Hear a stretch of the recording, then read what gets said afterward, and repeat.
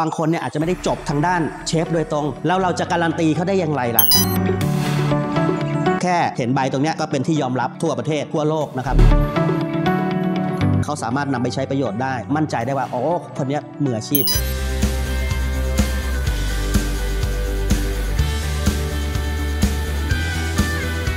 ชอบทำอาหารอยากเป็นเชฟ มีใจรักในการทำอาหารก็เป็นเชฟได้แล้วหรือเปล่า ต้องเรียนเชฟเท่านั้นถึงจะเป็นเชฟได้ เรียนเป็นเชฟแล้วทำไมต้องเรียนรู้งานบริหารด้วย อาหารที่ทำแล้วอร่อย แบบนี้การันตีความเป็นเชฟมืออาชีพได้หรือเปล่า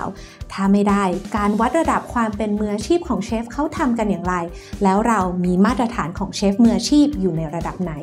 วันนี้คำถามเหล่านี้จะหมดไป เพราะที่นี่มืออาชีพ เรามีเชฟตัวจริงจากครัวการบินไทย ที่จะมาบอกเล่าถึงเคล็ดลับเส้นทางสู่การเป็นเชฟมืออาชีพ ระดับมาตรฐานสากลที่ไม่ลับ แต่หลายคนไม่รู้ค่ะ ผมวัชรพงษ์เมฆพึ่งดำรงตำแหน่งเป็น instructor อยู่ที่ฝ่ายครัวการบินสอนเกี่ยวกับเรื่องของอาหารนะครับแล้วก็ในเรื่องของความมั่นคงทางการบินด้วยครับในส่วนหน้าที่ที่เกี่ยวข้องกับทางสถาบันคุณวุฒิวิชาชีพนะครับเป็นผู้ประสานงานองค์กรนะครับระหว่างฝ่ายครัวการบิน กับสถาบันคุณวุฒิวิชาชีพ เราเป็นองค์กรรับรองที่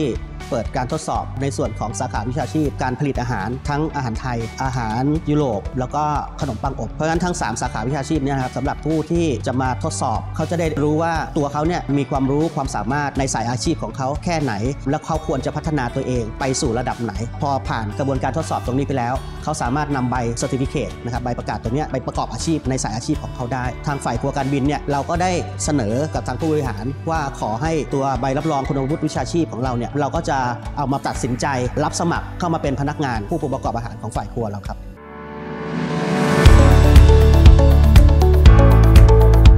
เรามีนักศึกษานะครับที่อยู่ในสายอาหาร ก็จะมีมหาวิทยาลัยศูนย์ดุสิตคณะเทคโนโลยีการประกอบอาหารและการบริการ แล้วก็ทางมหาวิทยาลัย ราชมงคลพระนคร ซึ่งเป็นสาขาอาหารเช่นเดียวกัน น้องนักศึกษาตรงนี้นะครับเขาก็จะมาฝึกงานกับเราตลอดระยะเวลา 10 ปี หลังจากที่ฝึกกับเราเสร็จแล้วเราก็จะเชิญน้องกลุ่มนี้ทำการทดสอบด้วย เขาจะได้นำใบตรงนี้ไปสมัครงานต่อไป ตามที่เขาสนใจ แล้วก็อีกส่วนหนึ่งที่สำคัญก็คือ เราโคกับทางทันทสถานหญิงกลาง คือผู้ต้องขังนะครับที่เขาสนใจ เวลาเขาพ้นโทษไปเนี่ยเขาจะได้เอาความรู้ตรงนี้ไปประกอบอาชีพทางด้านการปรุงประกอบอาหาร แล้วเราก็เลยเสนอกับทางทันทสถานไปนะครับว่าเรามีการทดสอบแบบนี้สนใจไหมในเมื่อเราไปให้ความรู้กับทางทันทสถานแล้วเขามีความรู้แล้วแต่เขายังไม่ได้การันตีเลยนะครับยังไม่มีการได้ใบรับรองจากสถาบันไหนเลย เพราะนั้นเวลาเขาจะไปสมัครงานนะครับหรือไปประกอบอาชีพเนี่ยมันก็จะมองไม่เห็นเป็นรูปธรรม เพราะฉะนั้นเขาก็เลยส่งผู้ต้องขังนะครับมาสอบกับเรา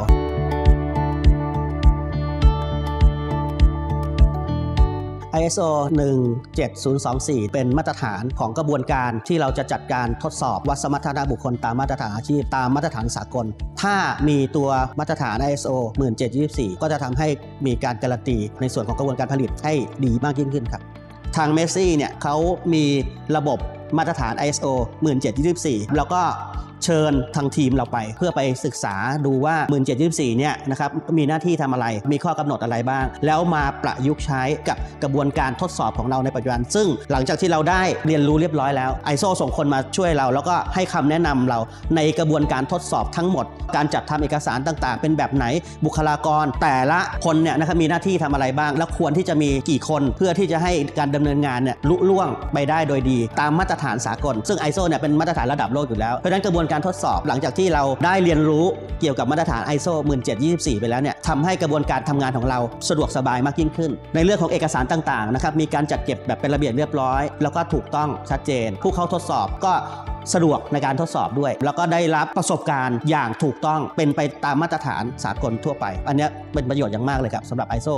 1724 หลังจากที่เราเปิดทำการทดสอบขึ้นเป็นองค์กรรับรองแล้วเราก็เชิญพนักงาน ซึ่งพนักงานของเราเนี่ยก็จะมีทั้งสองส่วน เป็นพนักงานประจำกับพนักงานรายวันนะครับ ซึ่งเขาก็อยากที่จะสอบบรรจุเข้ามา เพื่อเป็นพนักงานประจำนะครับ เพื่อให้ได้สวัสดิการ ให้ได้เงินเดือนที่สูงขึ้น เราก็เลยใช้นโยบายตรงนี้เพื่อที่จะให้ผู้เข้ารับการทดสอบเขานำใบตรงนี้นะครับมาประกอบการสมัครงาน การสอบบรรจุเป็นกรุ๊ปนะครับเราก็จะทำการคัดเลือกโดยที่เราก็จะให้น้ำหนักตรงนี้ให้ความสำคัญกับตรงนี้ด้วย ก็จะทำให้กรรมการเขาก็จะมองเห็นถึงความสามารถของน้องๆซึ่งเราไม่ต้องให้น้องมาปรุงประกอบอาหารโชว์เรา แค่เห็นใบตรงนี้นะครับเขาผ่านการ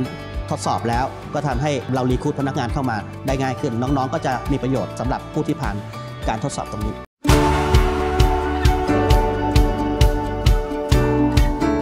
มืออาชีพก็คือมีความรู้ความสามารถจริงในสายอาชีพของเขา คนที่เป็นมืออาชีพเนี่ยนะฮะอย่างเช่นกุ๊ก บางคนอาจจะไม่ต้องมานั่งเปิดตำรา อาจจะไม่ต้องมานั่งโอ้ไปศึกษาตรงโน้นตรงนี้นะครับ เพราะฉะนั้นความรู้ความสามารถมันอยู่ในตัวเขาอยู่แล้ว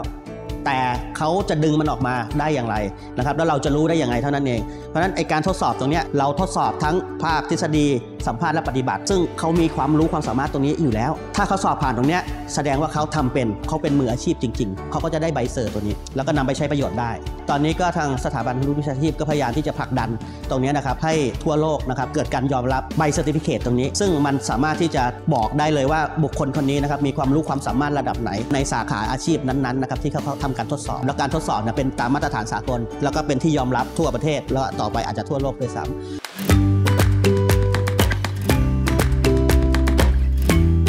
บางคนเนี่ยอาจจะไม่ได้จบทางด้านเชฟโดยตรงวุฒิปริญญาตรีไม่มีวุฒิปวสวุฒิปวชไม่มี แล้วเราจะการันตีเขาได้อย่างไรล่ะ ว่าเขามีความรู้ความสามารถในสายอาชีพนี้จริง ๆ ก็เลยเกิดกระบวนการทดสอบแบบนี้ขึ้นมา เพื่อที่จะวัดเขาจะรู้ว่าเขามีความรู้ความสามารถในด้านอาชีพของเขามากน้อยแค่ไหน โดย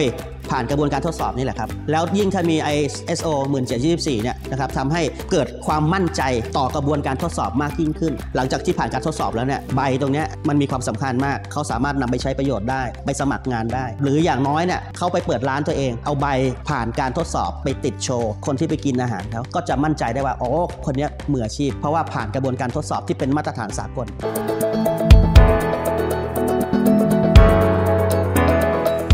ประชาสัมพันธ์นะครับสำหรับผู้ที่สนใจที่อยู่ในสายอาชีพนี้ที่ชอบในการปรุงประกอบอาหาร แล้วอยากที่จะวัดความรู้ความสามารถ วัดสมรรถนะของตัวเอง ว่าเรามีความรู้ความสามารถทางด้านการปรุงประกอบอาหารต่างๆ มากน้อยแค่ไหน ขอเชิญชวนทุกท่านนะครับเข้ามาร่วมการทดสอบกัน แล้วก็ทำให้ผู้ที่จะมารับประทานอาหารกับเราเกิดความมั่นใจ เกิดความเชื่อมั่นว่าเราเป็นมืออาชีพในการปรุงประกอบอาหารจริง ๆ ครับ ที่นี่มืออาชีพ ทุกความสำเร็จมักมาจากการเริ่มต้นที่ดีนะคะ มาตรฐาน ISO IEC 17024 ถือว่าเป็นเส้นทางการก้าวเข้าสู่การเป็นเชฟมืออาชีพ ที่วันนี้เนี่ยเป็นเคล็ดไม่ลับที่เชฟได้บอกไปนะคะ หวังว่าพี่ๆเชฟทุกท่านค่ะ หรือว่าใครที่อยากจะเป็นเชฟ จะได้นำไปปรับใช้ การก้าวเข้าสู่ระบบคุณวุฒิวิชาชีพ ถือว่าช่วยยกระดับความเป็นมืออาชีพให้กับคุณค่ะ หมดเวลาแล้ววันนี้เจอกันใหม่กับที่นี่มืออาชีพนะคะ สวัสดีค่ะ